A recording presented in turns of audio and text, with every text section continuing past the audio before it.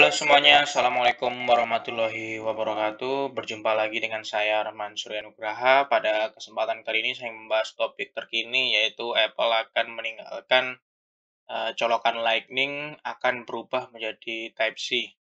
Jadi ketika kita mengetahui colokannya itu sendiri, kita bisa membedakan antara pengguna Android dan pengguna dari uh, Apple atau iPhone produknya.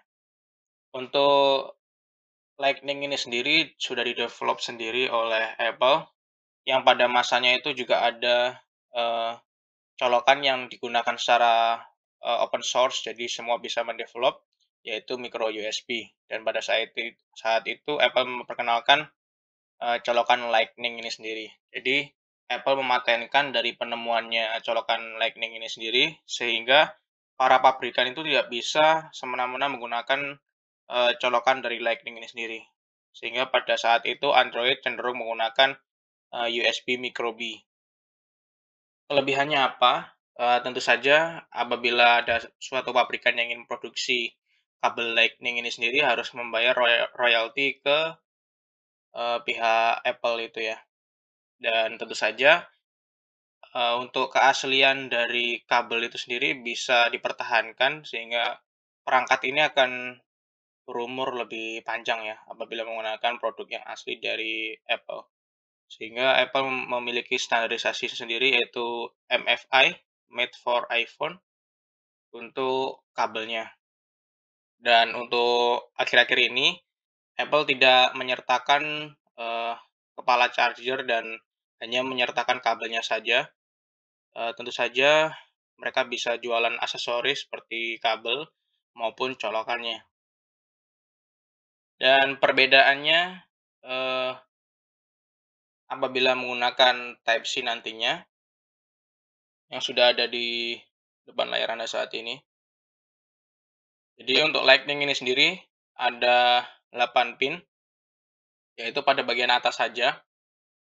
Dan untuk Type-C, ini merupakan pengembangan dari Micro B yang sebelumnya menggunakan 5 pin bisa bervariasi ya pinnya ini tergantung siapa yang mendevelopnya. Dan sifatnya ini bisa bolak-balik ya. Sehingga pada Type-C itu sendiri colokannya bisa dibolak-balik dan karena jumlah pinnya lebih banyak sehingga daya yang disalurkan itu bisa lebih banyak. Arus yang bisa lewat e, untuk Type-C itu sendiri bisa mencapai 100 watt, bisa mendukung fast charging sehingga baterai yang ditawarkan produk-produknya itu bisa mencapai 5000 mAh. Dan apabila masih menggunakan Lightning itu sendiri, uh, tentu saja akan terbatas ya jumlah baterainya. Apabila ingin pengecasan yang cepat, hanya berkisar baterainya itu sekitar 2400-an mAh ya. Itu yang menjadi alasan mengapa iPhone masih menggunakan baterai yang kapasitasnya kecil. Dan mereka lebih memaksimalkan uh, aplikasi supaya menggunakan daya yang lebih sedikit. Itulah mengapa bisa tahan lama baterainya. Dan untuk USB protokolnya yang Type-C ini karena sudah teknologi terkini, sudah bisa USB 3.1 atau 3.2, yaitu lebih besar uh, data yang bisa ditransfer. Untuk Type-C itu sendiri bisa 10 hingga 20 gigabit per second.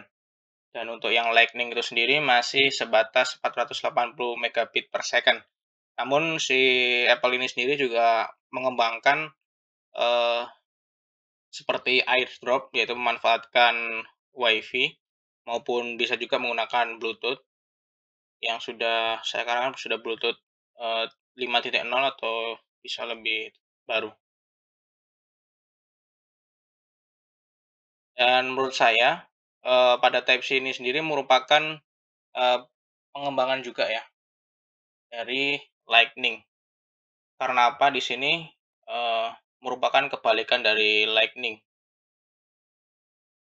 Dan di Type-C ini, uh, bisa bolak-balik dan Lightning ini yang yang bisa bolak-balik itu di bagian, uh, kabel chargernya ya, colokannya itu sendiri. Uh, tentu saja apabila, uh, Apple menggunakan Type-C ini sendiri uh, akan kesulitan untuk mendapatkan kabel yang asli. karena banyak sekali, uh, apabila suatu produk itu bisa diproduksi massal, harganya bisa lebih murah, tentu saja akan menjadi PR untuk Apple ya. Uh, akan apa ya, akan bersaing dengan, kabel Android-nya. Namun bisa juga memangkas biaya produksi dari, handphone itu sendiri. Karena apa? Karena sekarang, uh, Lightning itu sendiri menggunakan USB Type-C ke Lightning. Mungkin saja apabila bisa C to C akan lebih murah nanti biaya produksinya.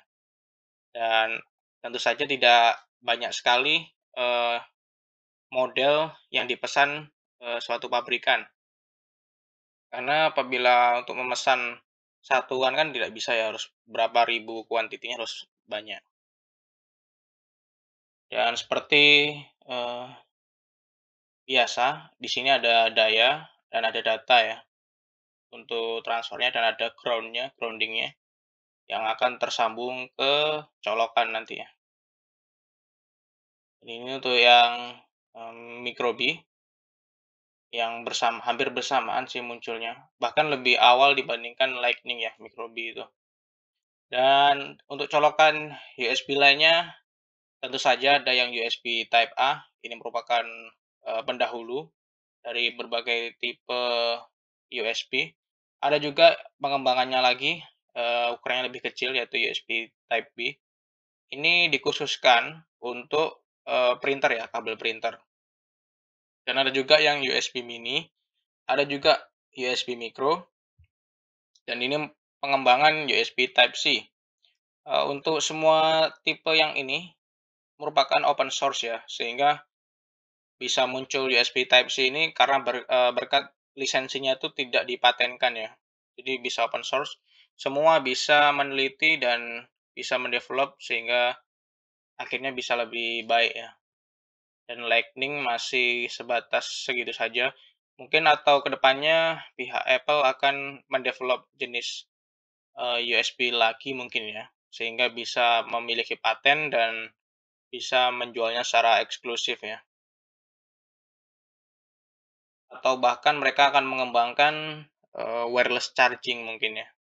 Jadi tidak bergantung pada port seperti ini. Namun US uh, wireless charging itu sendiri masih sebatas 10 watt. Kan apabila sudah ada yang 15 watt itu sangat, uh, baik sekali. Dan itu saja yang ingin saya sampaikan seputar, uh, alasan mengapa Apple akan meninggalkan USB Lightning dan akan berpindah ke USB Type-C. Apabila ada yang didiskusikan, silakan tulis di kolom komentar. Apabila suka dengan video ini, silakan like, komen, dan subscribe. Semoga bermanfaat. Wassalamualaikum warahmatullahi wabarakatuh.